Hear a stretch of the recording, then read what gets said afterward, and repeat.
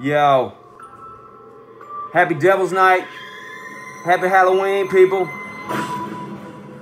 Just back with something stupid for y'all. Y'all like, yeah, what else is new? But hey, uh, you know, it's a true story. It happened to me. Just want to share with y'all from back in the day.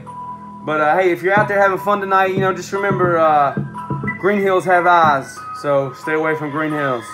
Yo.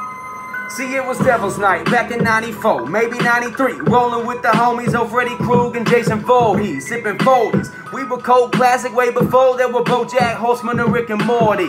Just chasing shorties, hoping to get lucky. And that's the moment that we rolled up when I Bride of Chucky. Freddy spitting that game, she acting like she can't hear him, we laughing at him. Have your ass even looked in the mirror? We was clowning on that dude. But honestly, that's the last thing on earth that we probably need to do. He got up in her face, if I was you, I wouldn't go to sleep. And she was like, oh, I see this how it's gonna be. Well, let me call up my husband and ask him what he think. Hey, baby, your crew's up here and something still stinks.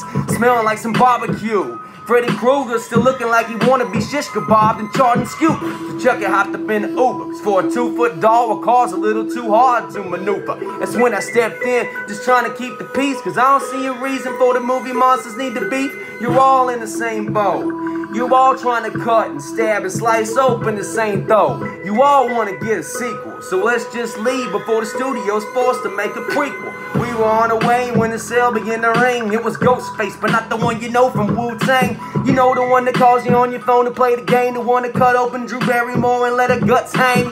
Yeah, bro, what's your favorite scary movie?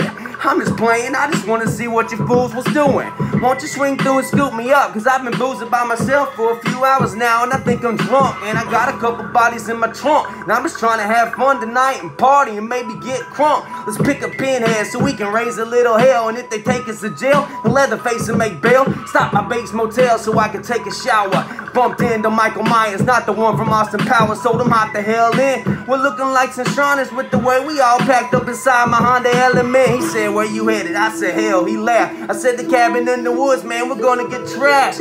Got a hot tub with an amazing view. I'm gonna eat so much Halloween candy I puke. He's like, nah, bro, I think I'm cool. I'm gonna stick around here, still got some things to do. I looked him in his face, man, said, what's wrong with you? He said, dude, I just wanna watch Stranger Things too. I was like, man, I can't blame you, dude. I kind of want to watch Stranger Things too, as well.